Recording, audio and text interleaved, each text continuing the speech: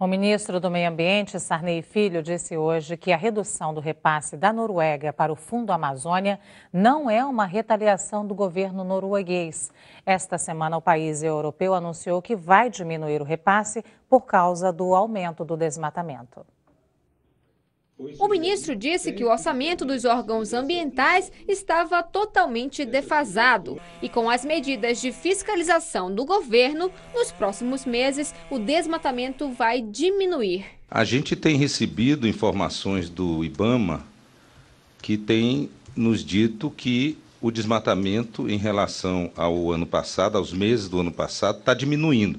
Mas esses dados Aí eles carecem ainda de um refinamento. Por isso é que nós não estamos comemorando e nem anunciando isso. O acordo com a Noruega é claro. Se nesse ano é registrado o aumento da derrubada das florestas, no ano seguinte o envio do recurso diminui para o Brasil. Até então, os dados do desmatamento são preliminares e serão divulgados por completo em novembro. Se confirmados, o corte vai ser grande. A média anual de investimento da Noruega no Fundo Amazônia é de 110 milhões de dólares, o equivalente a cerca de 370 milhões de reais.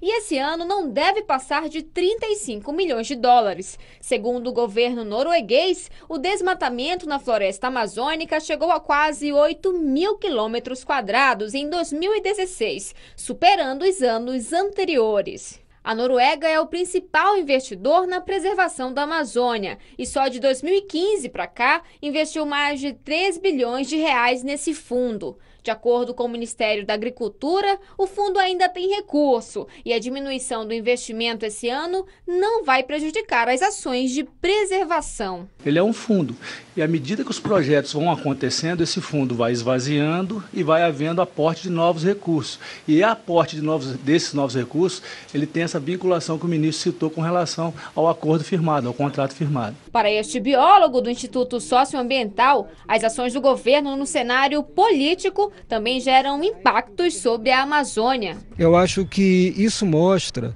também que os sinais que o governo vem dando para os desmatadores é um sinal verde. As promessas de redução de unidade de conservação, de mudanças na lei de licenciamento, tudo isso contribui para que as pessoas invadam e desmatam as florestas, desmatem as florestas.